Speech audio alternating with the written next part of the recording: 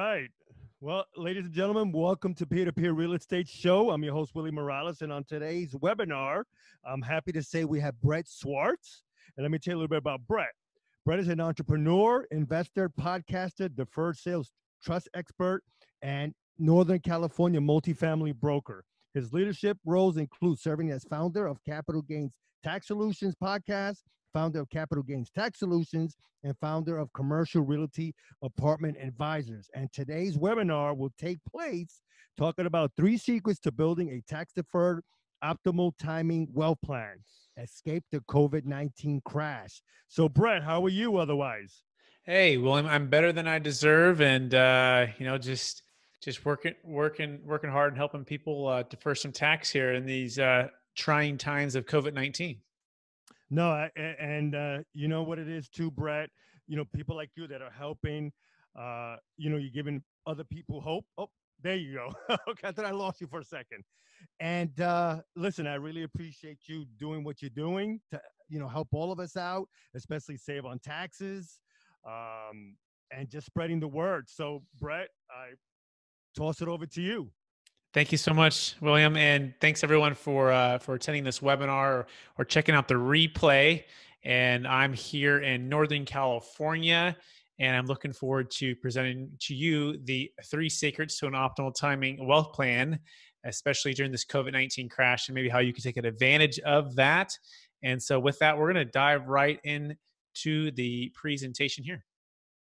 So, uh, this is entitled also or kind of a subtitle how i helped dave to finally achieve relief in retirement when he sold his 7.6 million dollar multifamily building and saved 1.1 million in tax without having to do a 1031 exchange. In fact he sold and we actually saved his failed 1031 exchange that property behind there that you see is his building. And instead of doing a 1031 he was able to um, uh, move all the funds into our strategy which you're going to learn about here in just a minute so this is me. Uh, I'm the founder of Capital Gains Tax Solution Solutions, and I'm located here in Northern California. But our company is national. We help we help folks across all 50 states. And as a legal disclaimer, I'm not a CPA nor a tax attorney. I have learned from some of the best in the business, but I'm simply our role is a third party trustee in this transaction. Um, but uh, we don't give legal or tax or professional advice each transaction individual circumstance varies widely and you are strongly encouraged to seek um, um, um, advice from your own tax and legal professionals. And of course if you like what we have to offer then you can you can have your professional speak with um, the tax professionals um, who provide this service. So dave was in your position just one year ago. He's sitting learning about the deferred sales trust for the first time and he's saying, you know what, um, I think uh, I might be interested, but I want to learn a little bit more about it. And so, in particular, he wanted to uh, find a way to finally time the real estate market. Right? He was used to just selling high and buying higher. Uh, 180 days later, via the 1031 exchange, and he said, you know, I wanted to be able to essentially sell and sit on the sidelines and buy when I wanted to in the future uh, with no pressure at all and uh, and so he actually closed on the deferred sales trust. This is what we offer, and uh, he used it for the first time, and he's very very excited. He also wanted to also you know slow down a little bit too. He's a baby boomer, he's looking to retire from the toilet to the trash, the liability, and he wanted to trade in for time, travel, liquidity, diversification, and essentially just kind of more retirement. He's moving more into a wealth preservation rather than a wealth creation mode and he plans to keep all of the funds invested in a conservative portfolio of liquid investments. These are securities, these are it's hard money lending, and then he wants to to shift and have the funds moved into commercial real estate when the prices make sense. And so that is his plan. And so who is this for? Well, this presentation is for anybody who owns a highly appreciated business, investment real estate, primary home, or other assets subject to capital gains tax. And that could be, we're doing a Bitcoin case right now. That could be artwork or collectibles. We've done cars. We've done, um, um, art, you know, we said artwork. We're doing a horse deal actually out of Kentucky right now for for these race horses, and so it's uh, essentially capital gains tax. If you have it, we have a solution for that. If that asset you're selling is worth at least a million dollars net of all fees or net of all debt or fees or closing cost, and the asset has more than a $500,000 gain. If you have those two combinations, then um, this is presentation is for you. If you don't, uh, the rest of this uh, won't be as valuable, um, but it could be for someone you know in the future. Okay, so what is a deferred sales trust? Well, deferred sales trust is just a manufactured installment sale. In fact, it's uh, it's known as IRC 453 is the actual tax code, and it goes back to the 1920s. And uh, you may know it as a seller carryback. So, for the listeners who are familiar with real estate, uh, you can carry paper. And if you carry paper, meaning you become the seller, you become the lender, um, or I'm sorry, you are the seller, but you become the lender. Um, in that scenario, you've deferred anything that you haven't received yet until a later date okay and so uh, we've been it's a it's a we've been doing it for 24 years now collectively with the deferred sales trust attorneys and thousands of closes but really understanding that it's a tax deferral legal loophole that the IRS allows us to do, but with there's certain guidelines we need to follow. But more than that, it we like to say, you know, it's a new way of doing things. Okay, although we've been doing it for a while, it's new to you versus the old way. And what's the old way? Well, the old way is like the old blockbuster. It's the old 1031 exchange. It's it's something that's it's pretty restrictive. I don't know if you remember going to the go to the blockbusters. You walk in and you know find a video, and the video may or may not be there, right? Because um, it might be checked out, or or when you get it, you have the three days to return it, and then you have to rewind it, and you have to do the, the late fees, and there's just a lot of you know parts about blockbuster that we loved, but there's some parts of it that were challenging. That's the same thing with the 1031 exchange. You have to you know buy uh, within 180 days of when you sold. You have to uh, replace. Uh, you have to identify within 45 days you have to do equal or greater value. It has to be like kind. Um, all of those things create kind of some things that are challenging for folks and and versus the new way which is like the netflix where you can essentially you know on demand you, you can look at it. You have options. It's never sold out. Um, you're not restricted. Uh, now you do pay a fee of course for that but there's just so much more flexibility and freedom when it comes to the new way which is the deferred sales trust which we're going to get into where you can buy at optimal timing whenever you want. You don't have to take on equal or greater value.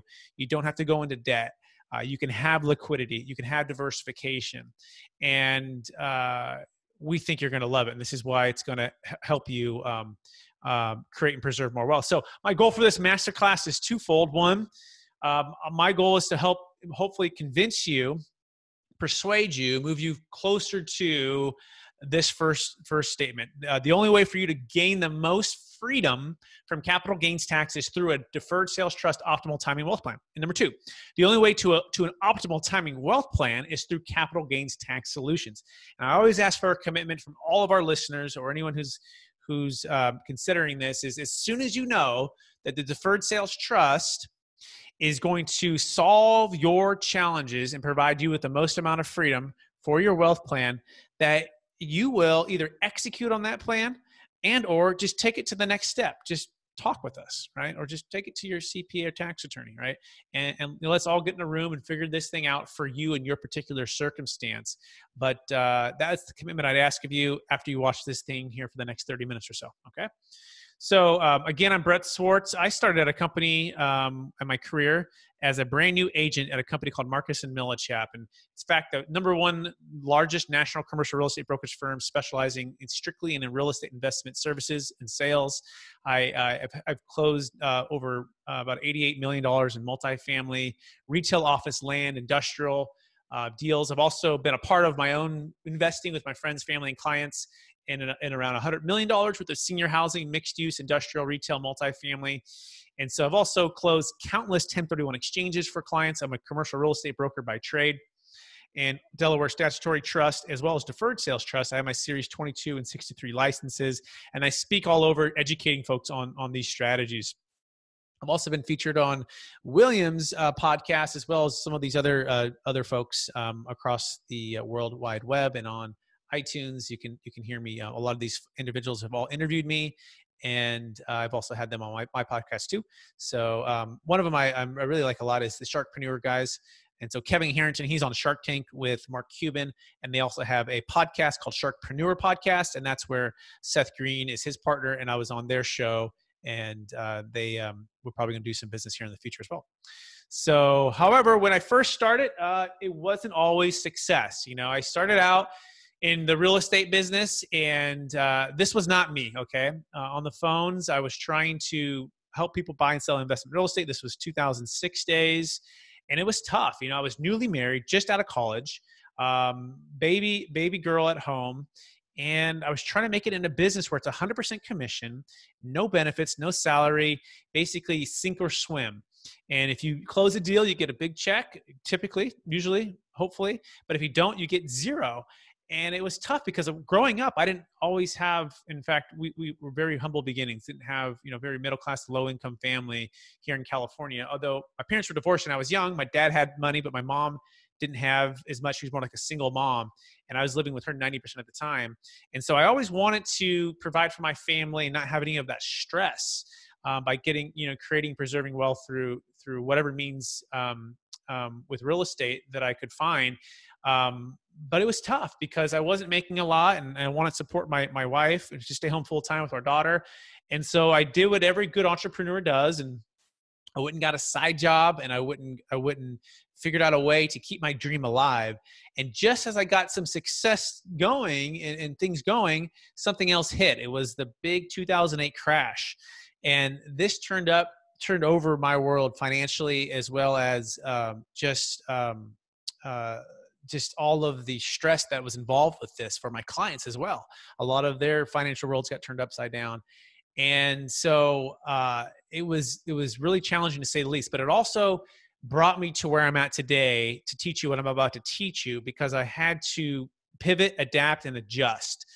And so uh, again, I was trying to close deals, and the challenge was some of these deals were so low priced, and my commissions were so low priced. This was a seven unit multifamily property I just it wasn't enough. I wasn't earning enough, so I, so I had to go get the the side job. I worked at Cheesecake Factory. That was our that was my wife and I's favorite restaurant. Um, and so I got a server position. This is actually my manager right here with the tire on, and I worked at this this location in Sacramento. It's in the Roseville Roseville place, and so he, I walked into for the job and he said, "You're overqualified. You have two degrees and a minor. You, are a commercial real estate broker. Who's to say you don't close a deal in a couple months and you walk away?" And I did all this training for nothing. And he goes, "If I'm going to hire you, I need two years." And I said, "I'll give you a commitment. No matter what, I will be here for two years." And I will uh, I will work no matter if I close other deals. And so he said, okay. So he hired me, and I was a server there.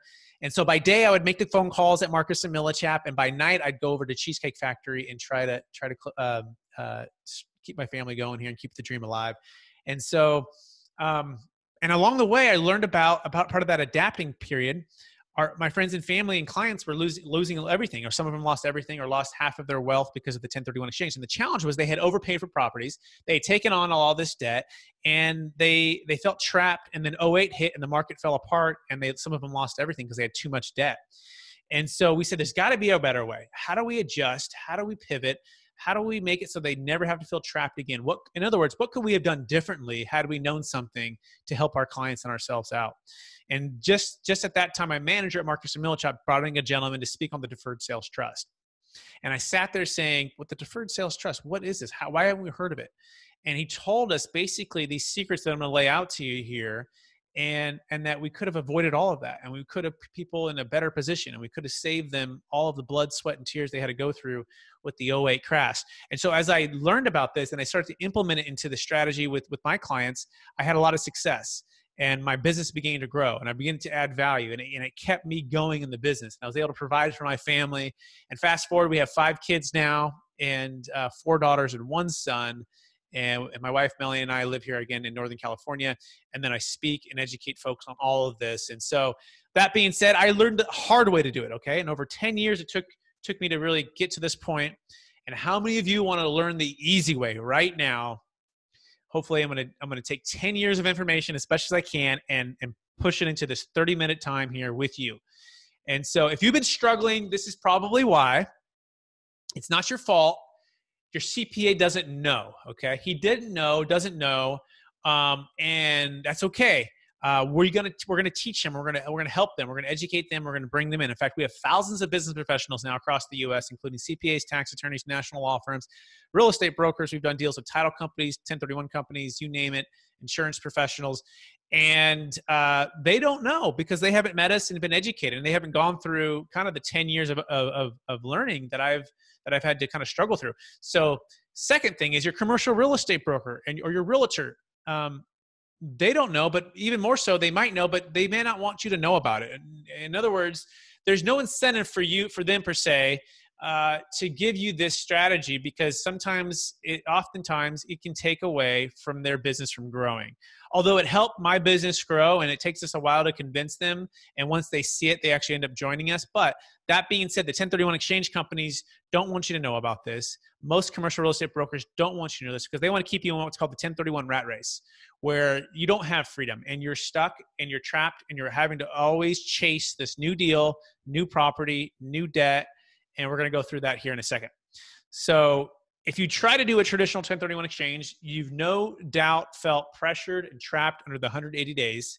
We call this the sell high, buy higher with the with more debt 180 day later plan. And so, if that's your plan, then stick to the 1031. But we think a better plan is the opposite to that, and that's freedom. That's freedom from capital gains tax. And um, the 1031 exchange does just, just does not work anymore. We think it's the old way and um, it doesn't work as well as it could is, is really what it comes down to. And, and by the way 1031 is good if you can find a deal which makes sense but it's not always good right? And that's the point here. Use the tool that fits your lifestyle your timing and your wealth plan that's best for you. It's you know you have a hammer and you have a screwdriver and you have a swiss army knife. And unfortunately the 1031 exchange is like a hammer and you're just running around hammering things, but the hammer doesn't work for everything. Sometimes you need that Swiss Army knife, or sometimes you need that screwdriver, right? And that's the point. Use the tool and the strategy that's going to help you best in each scenario. And as and as things change, you're going to have to adapt too. Okay. And so, as a part of that, by the way, according to the American Bankers Association, there's about 17 to 20 trillion dollars which will pass from one generation to the next in the next 20 years. And this is known as the largest wealth transfer in the history of the planet. And this is by the baby boomers, okay? And they're faced with toilets, trash, liability, and 30 to 50% of their gain being wiped out by capital gains tax and depreciation recapture. And they're looking for a way out, they're looking for a solution, okay, that doesn't involve a 1031 and that's where we enter here okay so again the 1031 exchange this is what we've been forced to do for the past 10 years we call this the hard way the hard way you hire a broker, five to six percent commission. That's expensive. You sell a property, another closing cost of a half percent. You hire attorneys, qualified intermediary. Um, you hire more attorneys to draft new LLCs. You have to then identify within 45 days and closer than 180 days. That creates pressure. You have to apply and obtain a new loan. You have to go buy the property. Hopefully, you didn't overpay for it. You have to take on more debt that you didn't want to. You're feeling more pressure.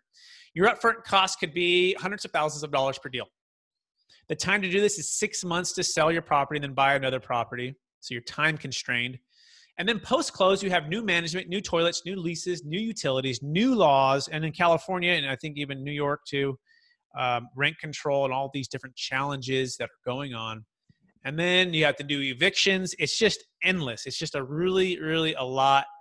And there's got to be a better way. And there really is. So I'm going to walk you through into how to build an entire optimal timing wealth plan in just 30 minutes. Are you ready? Here we go. So these are the three secrets to an optimal timing wealth plan. Okay, and we call this a actually transformational wealth plan because it's truly more than just a transaction. It's transformational for our clients and for their wealth plans. Okay, so secret number one: selling and deferring hundreds of thousands of, to millions of dollars in capital gains tax. How to legally break free from capital gains tax and find freedom to buy and sell your business or property without ever worrying about a 1031 exchange ever again. And secret number two, optimal timing transformational wealth plan cloning. How to clone a proven wealth plan with capital, capital gains tax solutions in less than five hours and have more time, energy, and debt freedom. Secret number three, my number one wealth building hack how to get your deferred sales trust to work in your favor and become an investment rather than an expense. So, diving right into the first one how to legally break free from capital gains tax and find freedom to buy and sell your business or property without ever worrying about a 1031 exchange ever again. Okay, so here, meet Joe. He wants to sell his business, primary home or investment real estate. He feels trapped by the capital gains tax, 30 to 50%. He's looking. He's going to 1031. By the way, the 1031 doesn't work for a business, doesn't work for a primary home, and only works for commercial real estate, right? So let's just say he's selling an apartment complex, and he goes to sell, but he gets hurt every time, or a lot of the times, because he gets his black eye because he's having to overpay for property, and or not be able to sell that that asset because he can't defer the tax. He doesn't have a clear, good way to do it. So he feels frustrated by all of that, but he wants to retire. He wants to be out of debt, and he wants to have a passive income stream. Or he doesn't want to retire. He just wants to sit on the sidelines for a while and go back in when the market makes sense. That's why I have the optimal timing part of this, okay? So um, uh, instead of doing a 1031 exchange and repeating all of the frustration over and over and over again, he can do a deferred sales trust. So, step number one to your deferred sales trust optimal timing wealth plan is to determine your capital gains tax liability. We made it super easy for you. You can go to capitalgainstaxsolutions.com and you can answer 12 questions on our calculator. And from there, you can get a side by side comparison of pay the tax versus not pay the tax. But more important than all of that is envisioning your ideal wealth plan. And what do we mean by that? Well, we mean, what does it look like? Your time and your energy what does it mean like for your legacy to give back to charity if you want to do that? What's it mean to look like to to to uh, not have to have toilets trash and liability? So i want you to map out and basically write out a business plan if you will for your ideal wealth plan and what that encompasses as a holistic approach your personal reasons for selling and then your financial wealth reasons for selling and how we can mirror those together to make it an ideal wealth plan for you Okay. So that's what you need to do. That's the homework you need to do. And as long as your liability is big enough, by the way, our minimum is $100,000 of liability um, at least. And typically we need about a million dollars of a sale on the sale. Um, our average deal is about 2.6 million and we're deferring somewhere around three to three, four, five hundred thousand dollars in liability. So just just keep that in mind as we go along here. If the deal is too small, it won't work for us because our fees will eat up the savings. But step number two is you need to take your ideal wealth plan, and then you need to write a, on a piece of paper, put a line down the middle. And you need to compare, contrast the different strategies the deferred sales trust versus the 1031, the deferred sales trust versus the charitable remainder trust, the deferred sales trust versus the Delaware statutory trust. By the way, the Delaware statutory trust is not a deferred sales trust. They're both DSTs, but they get confused a little bit here. So you can look at side by side for a comparison. And then you're going to figure out which ones offer you what you're looking for, okay? For your ideal wealth plan. Are you looking for liquidity? Are you looking for diversification? Are you looking to be out of the toilet trash and liability? Are you looking for optimal timing? Are you looking to reset your brand to get a brand new depreciation schedule? Uh, are you looking to save your failed 1031 exchange? Are you looking for a tax deferral strategy that works more than just investment real estate, but works for a high end primary home, or it works for a, a, business, or collectibles, or Bitcoin, or anything else that is, is has capital gains tax and, and 1031 doesn't work for? So write that all out and just start checking the boxes. And we think again, like the Netflix versus the blockbuster, you're going to see that the deferred sales trust is fitting all of the things you're looking for and uh, but that's up to you. You have to determine that you have to do the homework okay? So step number three though you start to like what you're seeing. You start to get excited about it. Now what do you need to do? Well you need to talk with somebody who's actually successfully used the deferred sales trust. So we you know you engage with us on a conditional basis. That conditional basis means there's nothing owed unless you close the deal. But then at that point you start doing some more due diligence. Uh, before you close you talk with people who have closed the deferred sales trust our clients and you find out um, how they feel and, and anything else that you need to get comfortable with right there. Step number four is to sell and fund the deferred sales trust. You actually sell and you fund it. And funds are held at TD Ameritrade, some of the largest banks in the world. In fact, this is the largest bank in the world now. And uh, the funds only move with your signature, but you fund the deferred sales trust. So again, back to Dave's story. Okay, he was sitting in your in your shoes about a year ago, and you know he goes, "Look, it's a relief to be to be rid of the apartment building it, it was a very lucrative investment, but it came with a lot of headaches and took up a lot of my time and energy and he didn't want to start over with a new 1031 property. So this he's selling the 7.6 million dollar property. He has four and a half million dollars of debt on there, and so if he buys something with a 1031, he has to replace all that debt. He doesn't want to do that. He wants to be out of debt. He wanted to retire from the toilets to trash the liability. He wanted more time, and diversification, and liquidity with his funds. He wants to be able to travel and then uh, again go back into deals when it makes sense he has sold bought and sold hundreds of properties over over 30 years and he's done 1031 exchanges countless 1031 exchanges he's a commercial real estate expert and so for the first time he used a deferred sales trust for his one of his largest deals he's ever done and he is really happy about it And by the way, you can see him on my podcast, Capital Gains Tax Solutions podcast. We just we just released that, and he is on the show. Just search for his show. Um, Dave Levinson is his name. All right, so how does this thing all work, right? So before you go anywhere and before we do anything, we want to make sure you get how this thing works. Okay, so we're going to use Dave's deal as the sample. He sold it for 7.6 million, okay? And he was he had a liability of 1.1 million dollars of debt, okay? And so that's the big number here. So if he does nothing, he's going to pay that in tax. And so he goes, "No, I like to do something, okay? Because I want to keep this deferred." So uh, the first thing to understand about tax as it refers to capital gains tax is what's called actual or constructive receipt. Meaning if the clients if you as the seller actually receive the money that 1.1 million is triggered.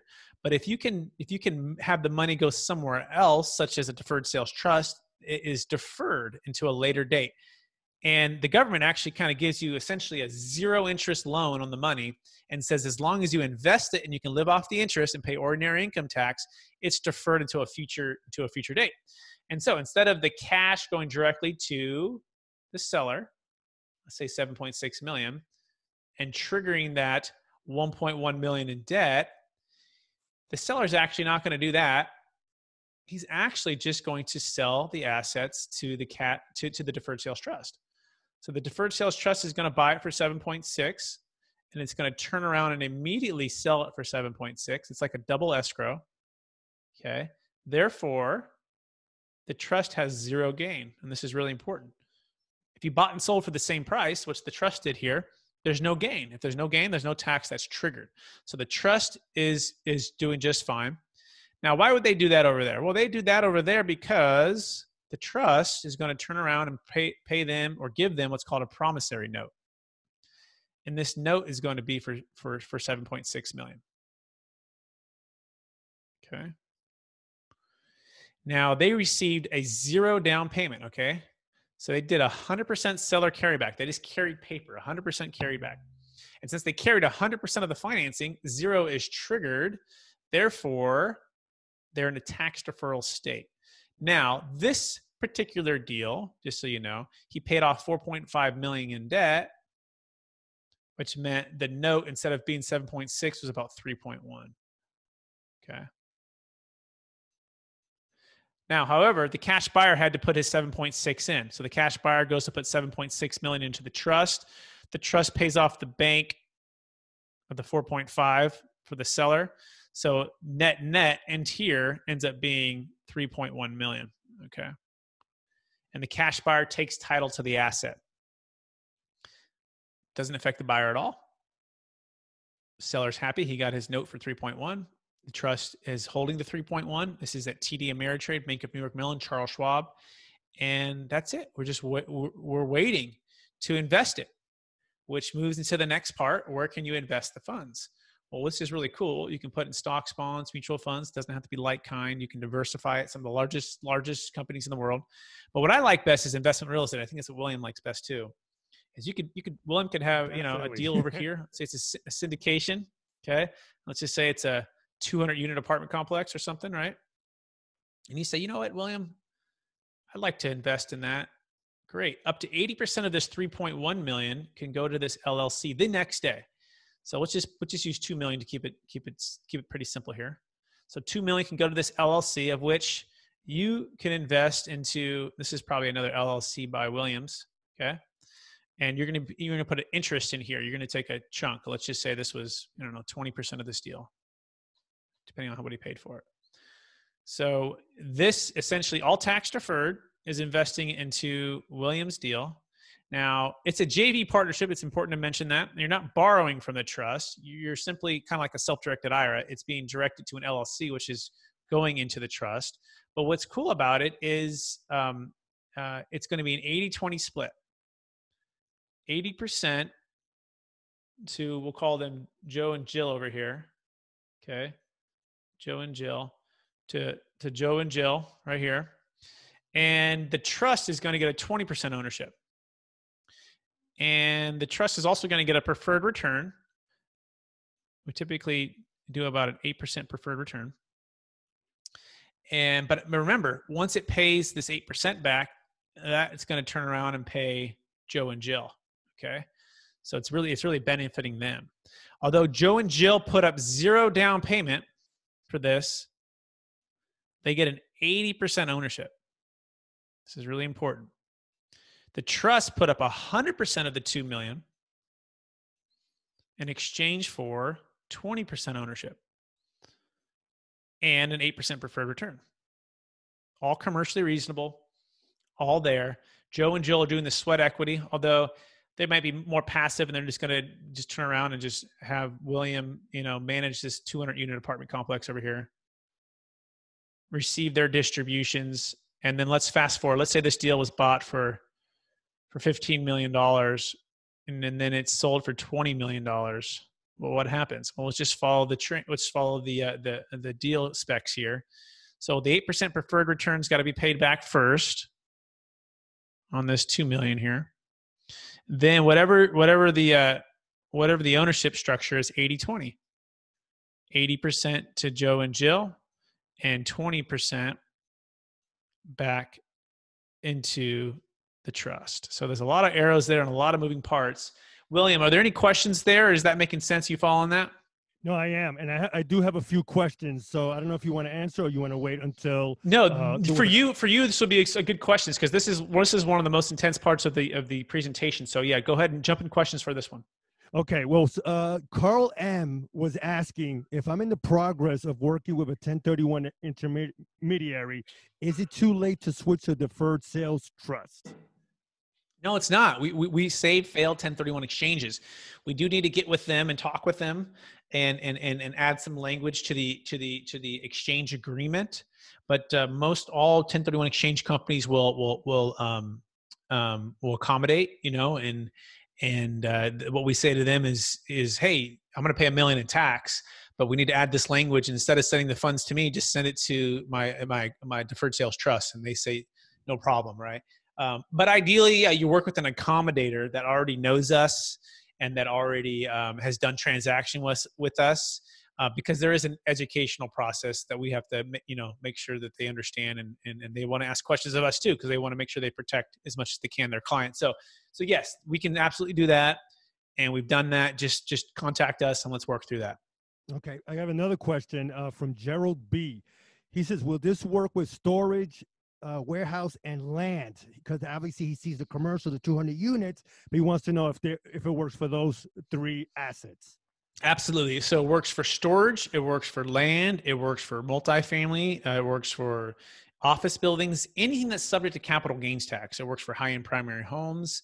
Um, we just did a deal in Cupertino, California. It's a $3.1 million sale. And she she uh, had $400,000 in liability above and beyond her 121 exclusion. What's the 121 exclusion? Well, if you live there two of the last five years, you get a $200,000, 250 if you're single, 500 if you're married, tax free on your gains. So if you bought a house for 500,000 and you're married and you sell it for a million, guess what? You're tax free, you're good to go.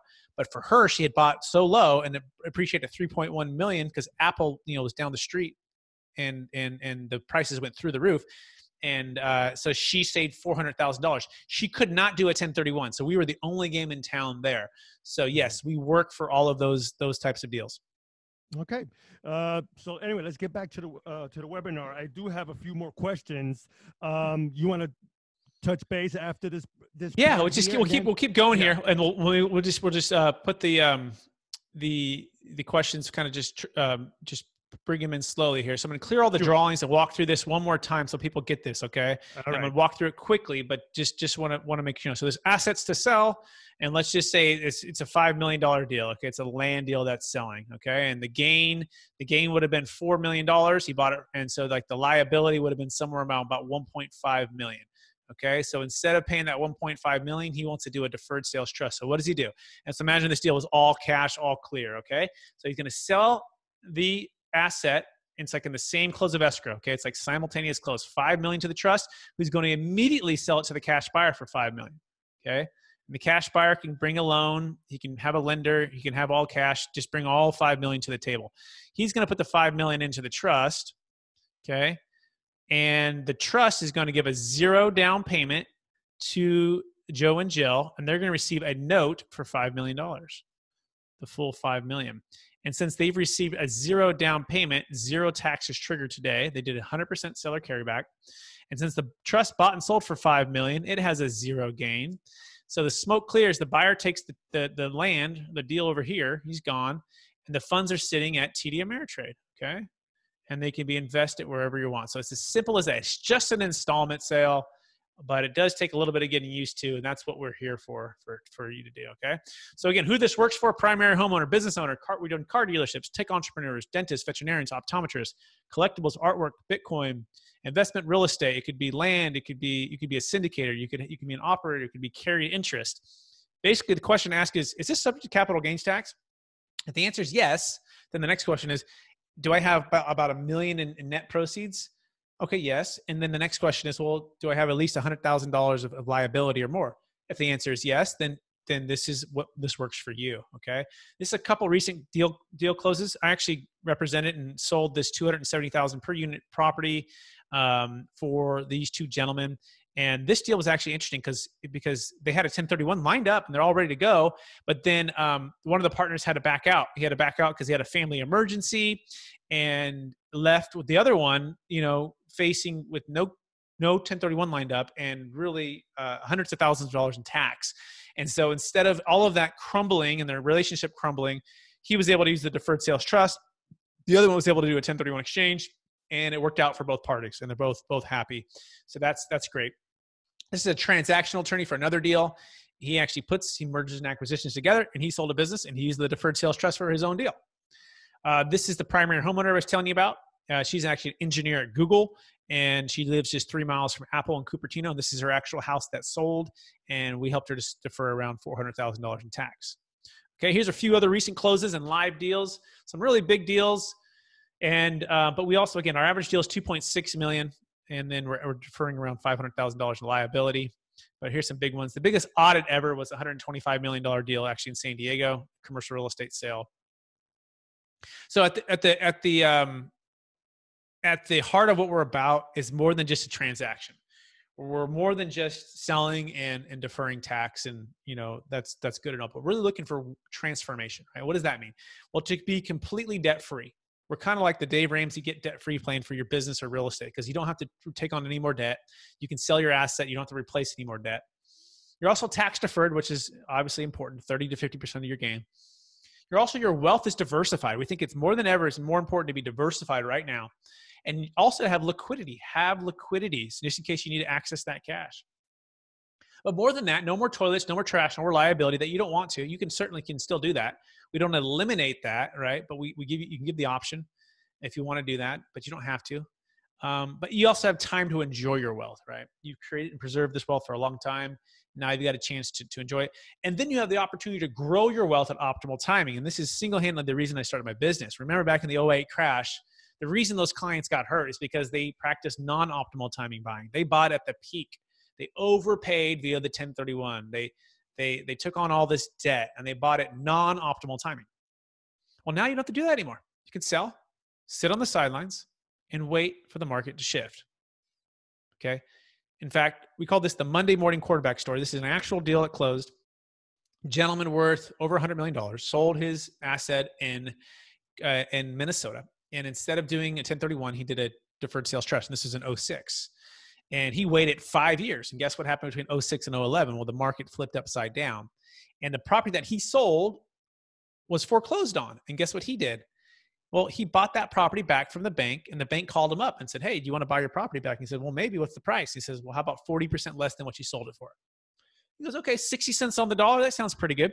So not only did he sell at the opportune time and get the best price, defer all the capital gains tax, but then five years later, he bought that same property back at 60 cents on the dollar, all tax deferred without using a 1031 exchange. We call that transformational as the way to grow your wealth at optimal timing. So, the most important question you should be asking right now, or one of them, is how do I know this thing is legal? And the second, how do I know my funds are protected, Brett? Like, if I put this money in this trust with this company, and you know, how do I know that it's it's all going to be safe?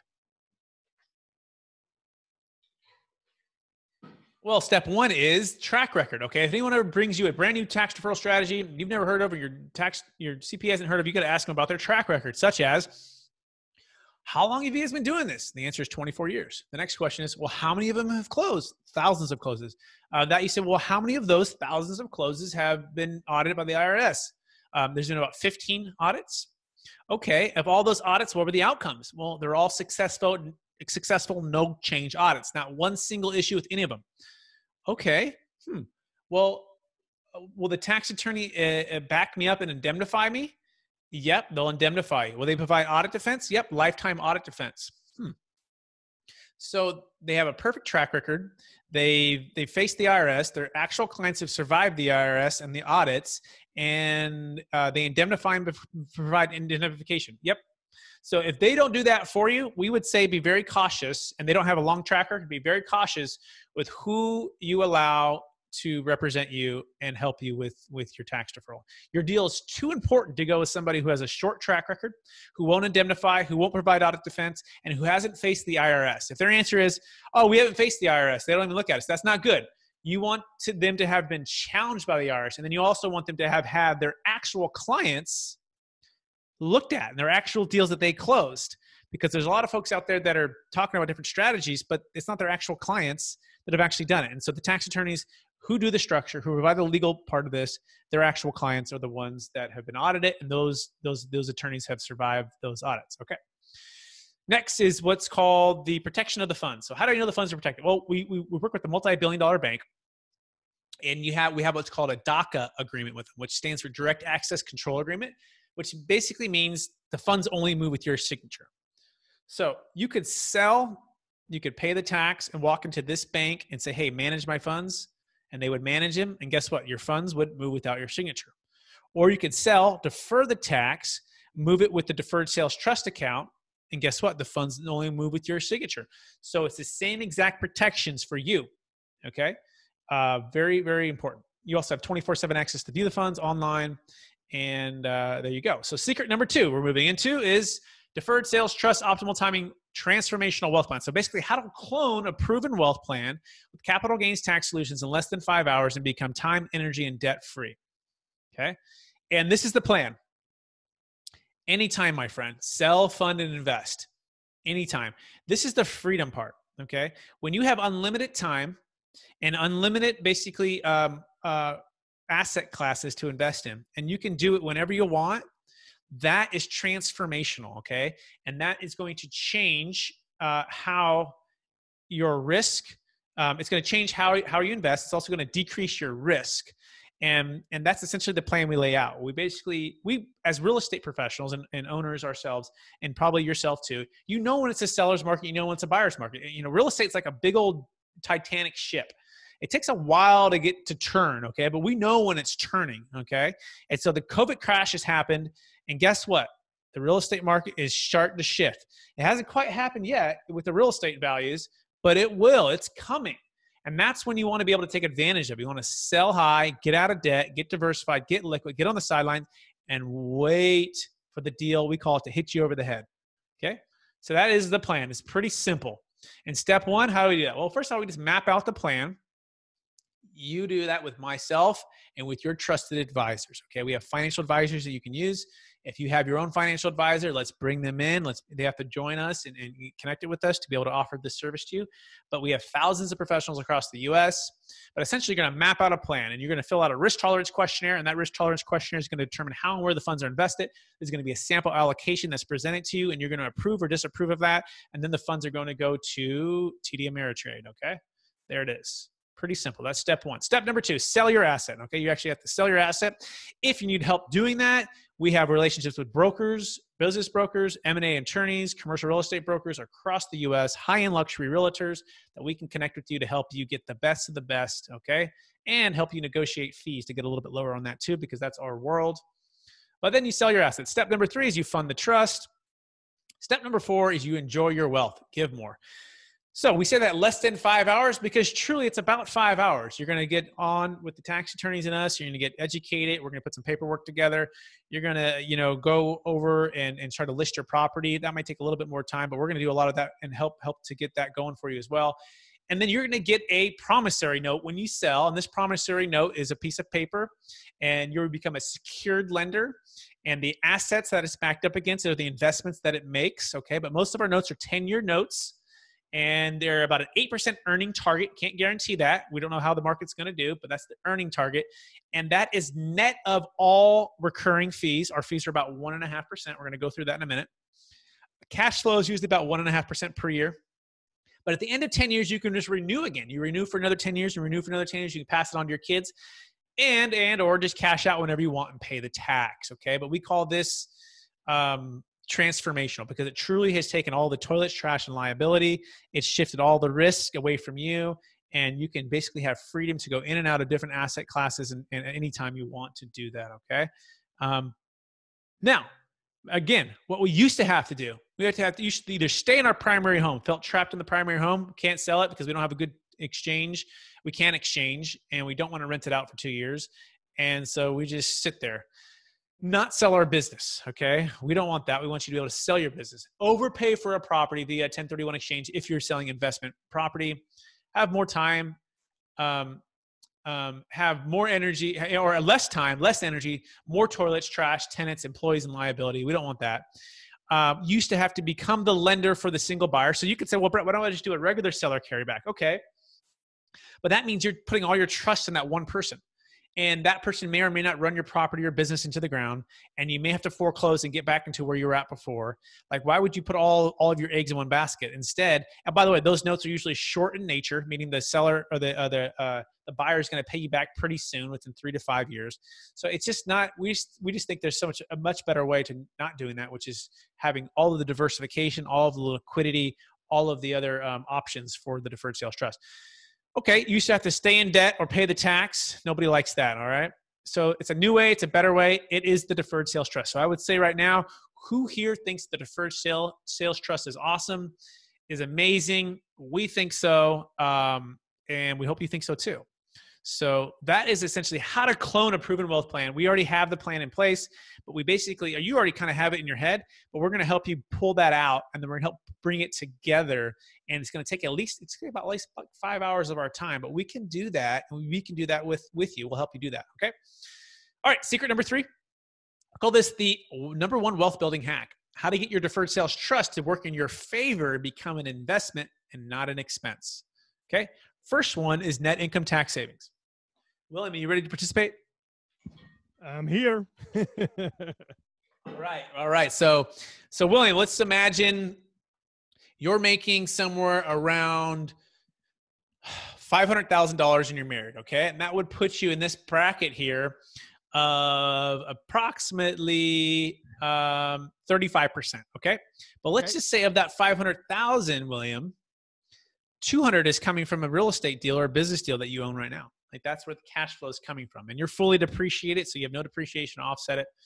Well, guess what? You could sell that asset, move it into the trust, and then you can tell the trust to just compound all of the cash flow. Mm-hmm. So all of that two hundred thousand dollars, let's just say that it's earning, it can compound, which would mean what? Well, your five hundred thousand would drop down to three hundred thousand, right? So you, you drop into a lower tax bracket, which is the twenty four percent tax bracket. So, so William, do you see how we just saved you 11% and moved you into yes. a lower tax bracket? Yes, I see. That's amazing. Okay. And that's definitely tax savings. I love it. yeah. So that's how the deferred sales trust is an investment rather than an expense. So let's look at this this other sample. Okay. Let's just say there was a couple making four hundred and forty thousand dollars, and two hundred thousand dollars was from the business, but that goes into the DST and they let they let that 200 just compound meaning it's just building up in the dst they're taking a zero payment from that until a later date that they want to receive it kind of like a 401k does okay? And now their tax bracket drops to 240 so guess what? They have a huge savings and that savings is about $70000 in tax savings right? So that's amazing. So just by making that one shift you can do that. Now fast forward Five years from now, let's say you retire from your day job or your other business and your income goes to zero. Guess what? We turn on the deferred sales trust income. By the way, no minimum distributions, no timing. You can do it whenever you want. And now you start pulling off of that. Or let's even say you're even smarter and like you're in New York and you want to maybe move to a sunny place called Florida and you establish a residency residency in Florida. Well, guess what? If you do that and you start receiving income from the trust, it's what state are you're in. You're in that new state. That could be also more favorable to you. Follow me, William? Yeah, Brett, I wanted to ask you something. Now, you where compared to a 403 a 403b or a 401k and you know you retired and you're maybe allowed 3 to 5% distribution with a DST that can that fluctuate in one year I could take 10% next year I could take 5% will it would would that affect me in in any way I mean obviously paying taxes but where you're structured with a 403 401 this seems that much better for us because you could just pretty much set your distributions the way you want. Am I you got it. That?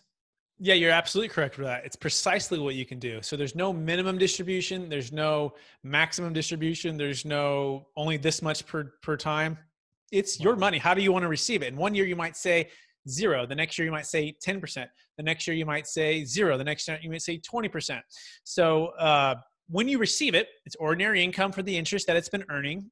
Right. That's ordinary income first. So interest, you're going to pay that first, and then if you dip into principal, it's going to be capital gains tax in the year in the year that you receive it. So it's completely flexible, completely adjustable. We just have to schedule it, and by scheduling it, we just amend the note and schedule that, mm-hmm. and and away you go. So it's truly, truly uh, remarkable in that sense. No, I, I, I, think you know more and more people will definitely find out about this. So I have a, a few more questions. Sure. Do you want to go back to presentation? Yeah, let's, let's, let's do that right now. It's, and then we'll keep going on the presentation. Keep going. Okay. Yeah. Uh, well, you answered this one already, but uh, Stevie C wants to know: Does the property has to be free and clear? And you said that it, as long it can have some debt on it. Yeah, no, no problem. It doesn't. It can have debt or no debt. Okay, so it doesn't have to be free and clear. And that's a great question because he's probably thinking of a traditional installment sale, which that's typically what it means because because you're becoming the lender, you have to have it basically free and clear because most banks don't allow a second over a 1st mm-hmm. And so by doing that, that's how most traditional installment sales are. But the beauty is we don't have to do that. We just ask that the buyer come with a full cash payment, whether through a lender or somebody, just come with the full amount and the seller, you're not going to carry any paper for that buyer. You're just going to sell it to the trust, and the trust is going to turn around and sell it to the buyer. And you're going to carry paper for the trust, but now the buyer's gone, the property's gone, and this is the beauty. Now the equity can be invested anywhere. Now, if you happen to have debt over here, that's okay. Just pay off that debt, and the net difference is what the promissory note is for. And so back to the $7.6 million deal, he retired $4.5 million of debt, and 3.1 million went into the trust. That's great, right? He's debt free. He's liquid. He's diversified. He's waiting on the sidelines. He's free from capital gains tax, but also free from the 1031 exchange of having to equal or greater value, which often means equal or greater debt. All right, sounds good. Uh, DG initial says, what would trigger an audit? Great question. So let's talk about the audits here, okay? So of the 15 audits, um, basically 12 of them were random audits okay? They were not triggered by the deferred sales trust okay? That's something to, to recognize here okay? Uh, the irs knows this very well okay? They, they they've looked at us they've looked at it and they've they've they've tried to turn over every rock and there's there's there's nothing to hide. It's just an installment sale. It's really what it is. But let's talk about those 12 audits. So those were 12 random audits. So the clients high net worth individuals happened to get audited not because of the dst and during that audit they said oh what's this deferred sales trust thing and this promissory note thing and and they followed that trail and then they went to the you know the law firm who, who set all this up and they went through it all and they said that's just an installment sale and they provided all the paperwork and they, sh- they showed all the business purpose and the third party unrelated trustee and okay no change no issue signed off no problem that happened 12 times it was happening um, and we were growing so much that they did what's called formal audits. So those are the other three. There's three formal audits, which are even more, not a particular case, just hey, you guys are growing so fast. We really want to see what's under the hood. No problem. And, and so they're looking at the books, at your at your cash flow statements and uh, balance sheet, just a typical, you know, uh, financial statement, among other things. Yeah, everything. I mean, I, the tax attorney just said, "Here, here, here's the structure. Here are clients you can talk with. Here are the accounts. You know, whatever you need. Here's the whole access to everything. Here it is." And they looked at it all, and not one single change. You continue as you are. And the uh, uh, there one happened one happened in 08, one happened earlier, I think it was 2000s, then one in 08, and then one was uh, 2019 just recently. And uh, the 2019 person, IRS agent, the, the 2008 person had retired, and they somehow didn't connect, you know, the deferred sales trust but essentially we they, we sent them all over this audit. We said we just went through this just a few years ago. Here you go. Before the meeting even started, they reviewed everything and by the time they got to the meeting they said hey you guys are good. They, you guys are. We want to make sure there's no trap doors. We want to make sure the money's not going overseas, which is not. We want to make sure that the consumers protect it. But you guys have something here that works, and that's it. And that was it. It was closed out, no issues. So that's important, right? Because you want to make sure again that whoever you're going to choose to help you with this huge transaction has actually faced the IRS and has success. And we're batting a thousand with the IRS, not one single issue. So um, hopefully that answers the question. All right, sounds good. So let's get back to the presentation. Sounds good. Sounds good. Great. We're jumping right back in. So All we just right. talked about the tax bracket savings, which is awesome, right? So let's talk about the number two here, which has to do with the state tax. Okay. So if you're worth more than 22 million, it's actually 23.16 as of 2020, um, or and married, anything above and beyond that is going to be subject to a 40% um, death tax or estate tax. Okay. It's about 11.58 if you're single. So that's a big, big challenge. So let's walk through that. Let's imagine, um, you know, Joe and Jill are in our, in our sample were worth 52 million. So imagine all 52 millions inside their taxable estate. Well, that first 22 million or so is exempt, but that 30 million that's remaining, that's subject to 40% death tax. Okay.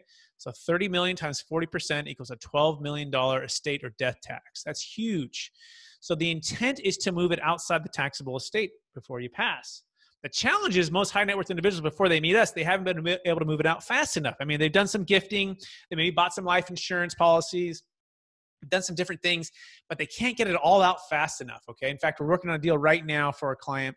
They're worth 126 million. They've been able to gift 26 million out to their kids and heirs, but the other 100 million is still sitting there, and they're selling a 20 million dollar asset right now, and they're looking at uh, about. Have, by the way, a zero basis on that deal but we're going to save them on one transaction. We're going to move all of the funds outside their taxable estate, as well all all capital gains tax deferred in the deferred sales trust.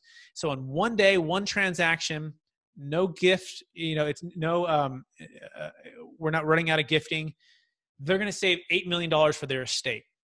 Okay, and this is staggering. No one else that we know of can do all of what we're saying in one single transaction.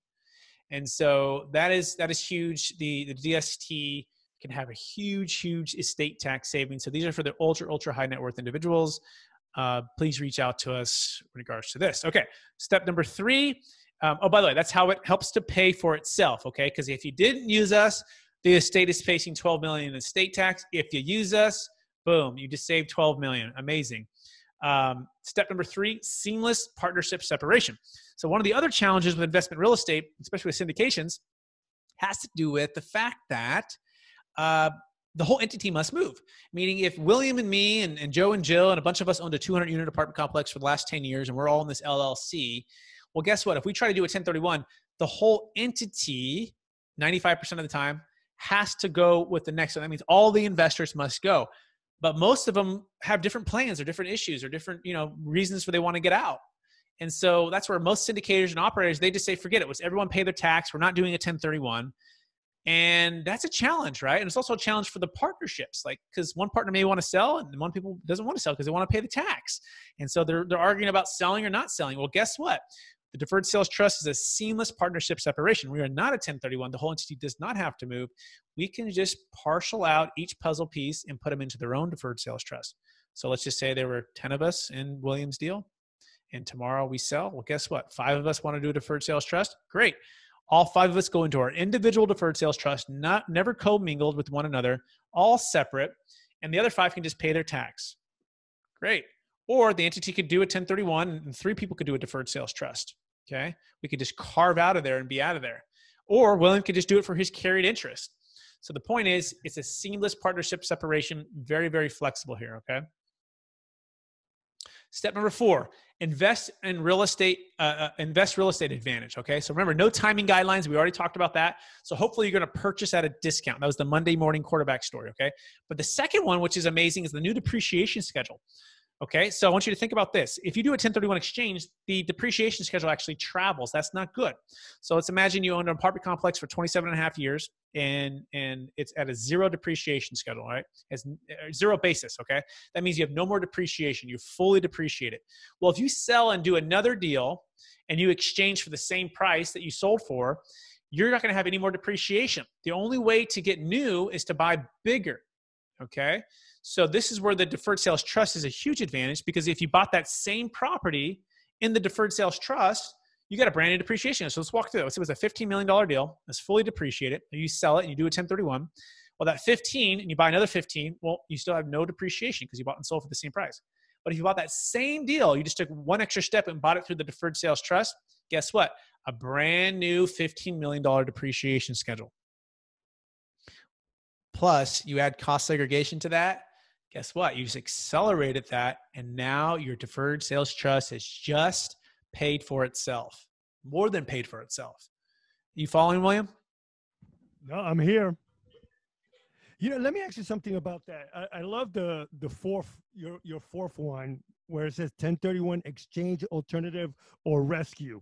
Definitely talk more about that because I think this ties into what you've been talking about uh, since the beginning of of the webinar.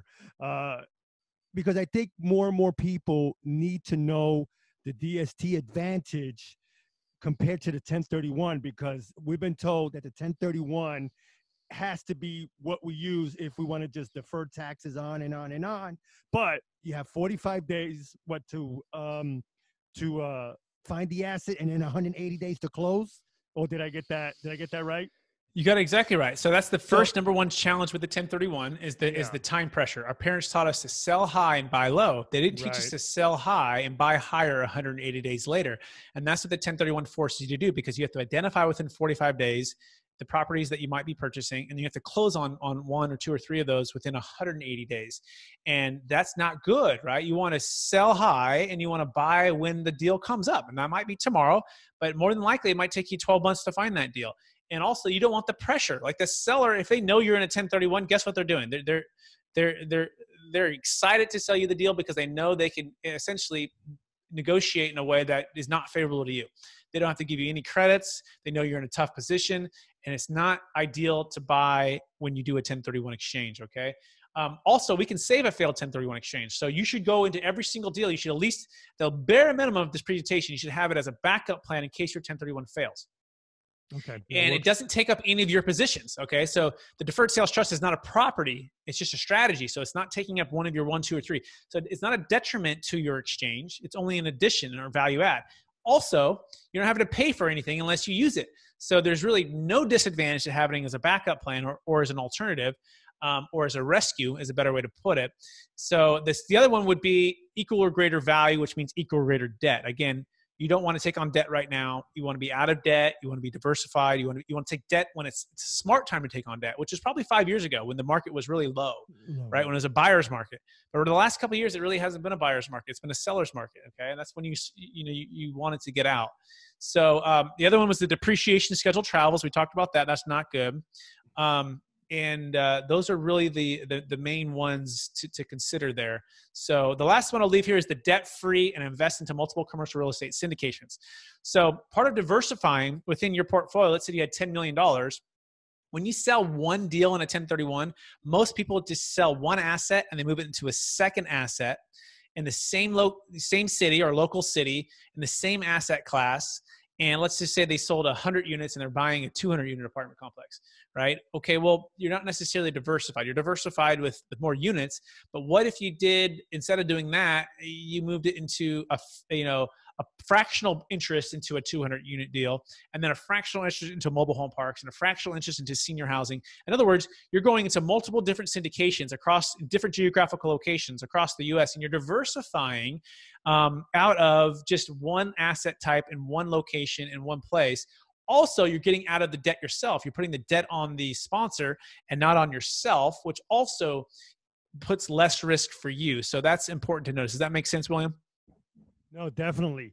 I, I I love the way, obviously, with this new I won't say new strategy, but new strategy for some of us that never heard this before. And I, like I said, you were on my, on my podcast and you've been on other podcasts talking about this. One of the things I wanted to ask you is depending on the structure of the LLC.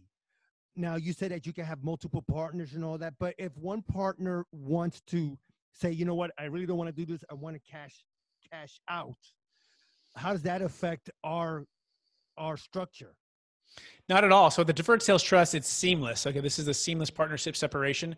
So okay. that's fine. They can take their cash and pay their tax, no problem. And, and then for yours, William, you could have your own deferred sales trust. And, and then and then someone over here, Joe and Jill, could have their own deferred sales trust, separate from one another. And also, too, let's say it was a million dollars that was going to you, William, but you said, "Look, I don't want to put all a million in there. I only want to put eight hundred thousand into the deferred sales trust. I want some cash here. No problem. You're going to pay tax on that two hundred thousand that you receive, um, but the other eight hundred can be deferred. So very flexible, very uh, uh, customizable for whatever you need to do. Um, it's it's really nice when it comes to, to, to partnerships for sure. Yeah. I have uh, a few more questions, right? Sure. If you want to. Yeah, well, let's take a little break for the questions, and then we'll, then we'll finish up the presentation. Okay, sounds good. Uh, I have uh, Jocelyn M. Can we bundle multiple commercial properties into one deferred sales trust? Absolutely. This is the beauty. Okay. So uh, think of your deferred sales trust optimal timing wealth plan as the hub. Okay. And as you sell each individual asset, they become individual notes, okay, all into one trust, and you keep pulling all the money together. So you may have like a vacation home, a primary home, a, a multifamily property, a business, you know, Bitcoin, all of these different asset classes that are subject to capital gains tax.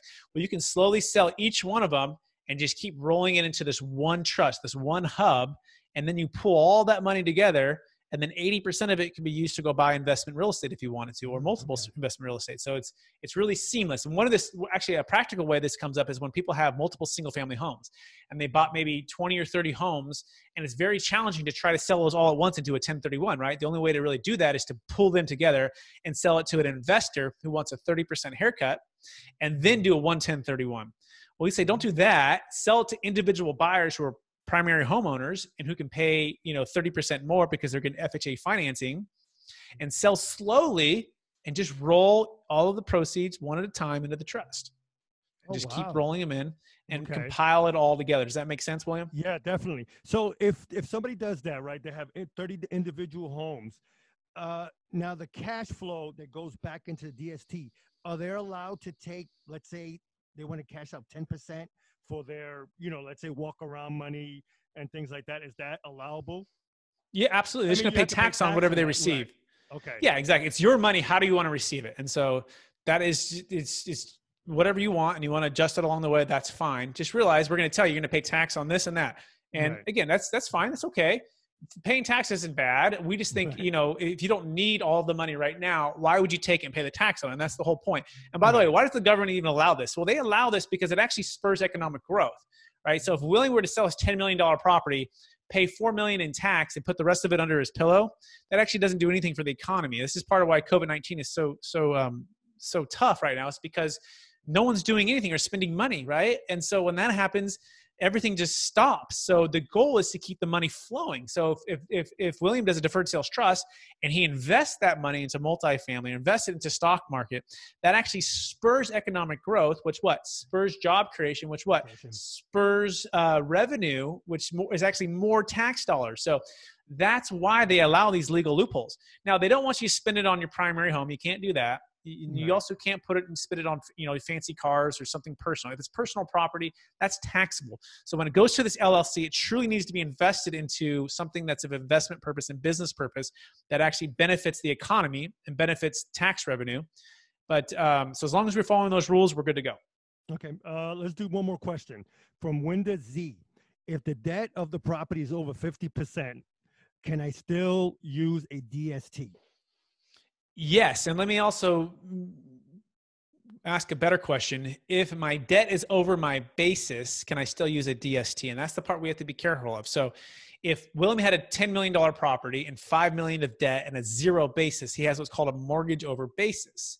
We can still solve that, but we just have to do a partial 1031 exchange. And so we would just say, reach out to us for that.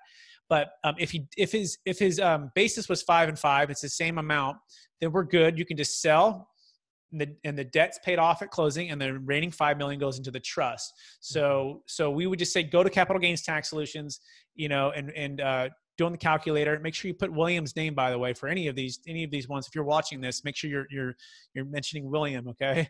And uh, and william actually i think he's going to have his own deferred sales trust calculator so i think he's going to have his own site. So that being said make Sounds sure you're mentioning him so uh, we can we can all connect here. But that being said uh, no problem on that Okay, sounds good. Uh, let's get back to the presentation. Okay, great. Here we go. We'll keep going here.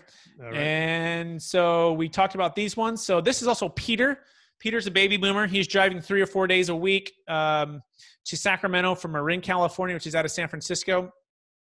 And uh, he he was tired of all of it, right? And he wanted to sell, and he had all this debt, and he had all this tax that he had to owe. And so he goes, I've never had so much time and energy. He goes, Brett, I had 18 problems. I didn't want 36 problems. I had 18 problems. I didn't want to do a 1031 for 36 problems. I was tired of all this. And so he got out of debt. He got tax deferred. He's on the sidelines and he's waiting and he sold before the crash. So he's really happy. So we talked about these three secrets, okay? And they're really, really key here to a transformational wealth plan. And essentially, you know, how to, we want to give you the, these secrets right now, and hopefully you've, you've, you've grasped them. And we also have a, a capital gains tax solutions um, academy that you can also attend and get some more information on this. But essentially, how to legally break free from capital gains tax and find freedom to buy and sell your business or property without ever worrying about a 1031 ever again and, and deferring hundreds of thousands to millions of dollars in capital gains tax. Then you want to have an optimal timing transformational wealth plan. You just want to clone a plan, a proven wealth plan with us and with your trusted advisors. We can do that less than five hours and become a time and, and have time, energy, and debt freedom. Okay. And then, and then uh, number one wealth building hack: how to get your deferred sales trust to work in your favor and become an investment rather than an expense. And so, do you think you could do this? Okay. Um, uh, if you just modeled what works, okay, and we just basically laid it out for you. If you just set a call with your trusted CPA, William and myself, and an attorney and went through capital gains tax solutions with us to confirm this is legal and it works. If you just did that, if all you did was that, if you were just sit down with your financial advisor or one of our trusted advisors and mapped out where the funds would be invested and the risks accounted for, and then if you were to sit down um, with me and map out how the DST is actually an investment and not an expense, you know, breaking down the net income tax advantage and the new depreciation schedules. Do you see how you could do this? That you actually could do this and you could have all the freedom that we're talking about here. So let me ask you a question. You probably feel like this this little girl. She's not my daughter, but she she's actually about the same age as one of my daughters, about four and a half. And you probably feel like uh, it's a fire hose and all this information just flying at you, right? Can I just make you an offer here? Okay. And uh, just give me another few more, few more minutes. I want to make you an offer here exclusively for Williams listeners right now. Okay. But I know you're feeling like this, but just give me a few more minutes. All right. So, first of all, I want to give you instant access to all the media and training. Okay. At, at, no charge. Okay. If you go through William at no charge, and that includes our podcast, that includes our videos, that includes our academy. Uh, we also have an escape feeling trap guide. We have a brand new ebook that we just released.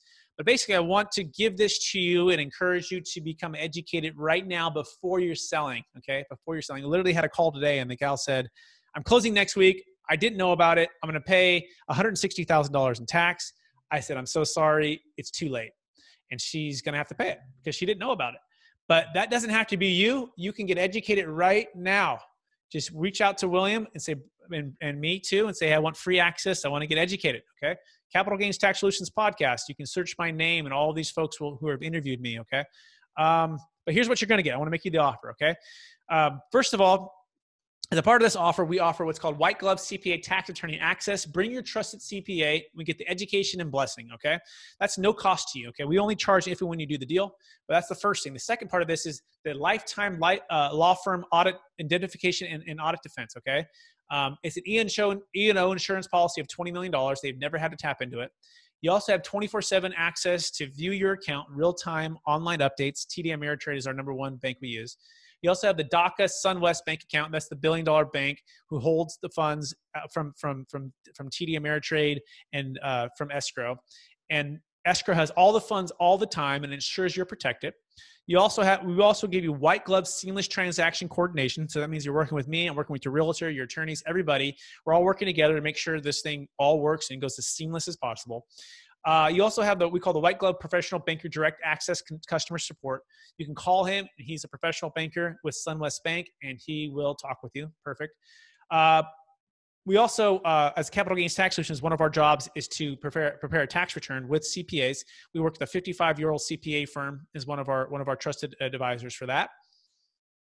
Also, if you're going to form an LLC, you're going to want a formation. We have the attorneys ready to go for that, and also the onboarding with with how to execute all of this. Okay, uh, access to some of the top wealth advisors in the U.S. Okay, and that's uh, what we also want to give to you. We talked about the audit defense.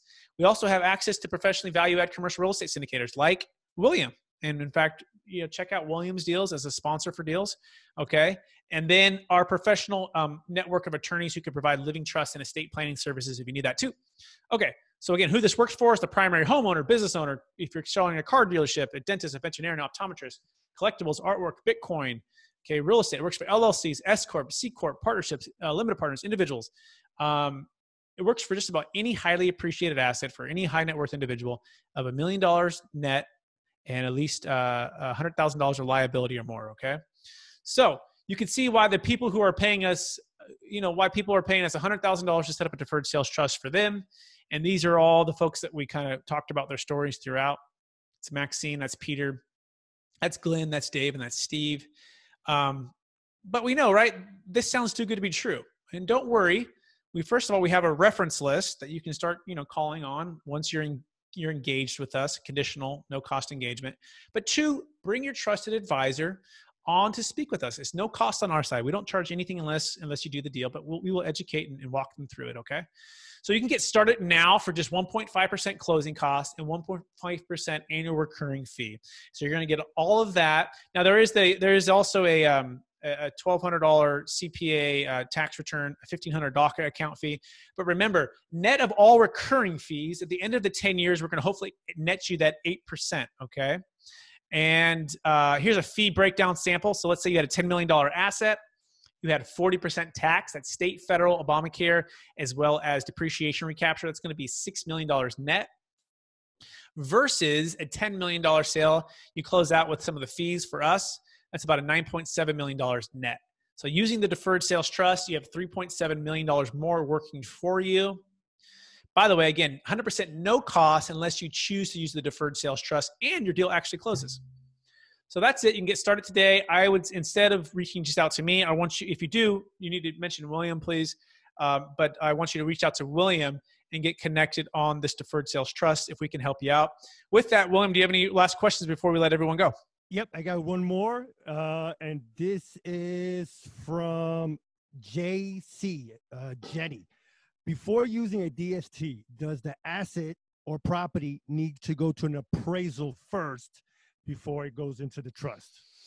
No, I think the heart of his question is he's asking, um, what are we selling for and who's determining the price? So right. um, the buyer is going to be paying the fair market value of what it is, whatever it is and the the seller is going to be ready to sell it. And the trust is only going to do the deal if the buyer is ready to do the deal. If the buyer doesn't do the deal the trust doesn't do the deal. So it's like a simultaneous close. It's something we call it a new york minute right? It's just boom boom boom. It just closes you know? But if for some reason the buyer backs out or doesn't do it or the appraisal doesn't work out or whatever you can't get the funding then we don't do the deal and you don't owe anything to us. We take off all that pressure. So we only transact if the buyer is going to do it. And then if the buyer does it we immediately uh, sell it uh, you sell it to us. You assign the interest Mm-hmm. We, sell, we, we, we sell it here, and the funds go into the trust. So uh, hopefully that answers the question. All right, sounds good. Well, that's all I have. Brett, I mean, you've been wonderful. Thank you so much for explaining everything in detail. I, I even got it. So you ex- definitely explained it for a five year old like myself. so, Brett, if somebody wanted to contact you, say your website again and uh, email, whatever you want to add to the final closing. Absolutely. Thanks so much. So capitalgainstaxsolutions.com and you can schedule a free uh, 15 minute consultation call. We also have the online access uh, we'll, um, for Capital Gains Tax Solutions Academy. Go to iTunes, search Capital Gains Tax Solutions. Uh, you can go to YouTube, all of those things, all of those sources, Facebook, LinkedIn, all of them. Just search my name, Brett Swarts or Capital Gains Tax Solutions, and we look forward to being of service to you. Thank you so much. Well, Brett, again, thank you so much for taking a few minutes, well, about an hour of your time to uh, talk to us. I think, I mean, you provided so much information, and we had, I thought we had a lot of great questions. So, and thank you for answering each and every one. My pleasure, William. Thanks for having me on. It's been an honor to serve you and your audience. Well, everyone, that was Brett Swarts from Capital Gains Tax Solutions.com. That's Capital Gains Tax Solution com. Brett, thank you for that informative webinar. Uh, it was a great, great presentation. And if anybody's interested in finding out more about Brett, please let them know that you saw the webinar with Peer to Peer Real Estate Podcast. So thank you so much. Also, you can find me at peer-to-peerrealestate.com. That's peer to number two, peerrealestate.com. Check out our blog, our resource page, and our past shows. And before I go, guys, just a couple of more things. Please go to iTunes, look for us at Peer to Peer Real Estate Podcast. Please subscribe, leave a review, tell us how we can make this show better. And do not give up on your dreams. Fight for it, protect it, and keep the momentum going. I really believe good things will happen. Anyway, guys, on behalf of Brett Swarts from Capital Gains Tax Solution, I'm Willie Morales. Until next time, thanks everybody, and please stay safe. Bye.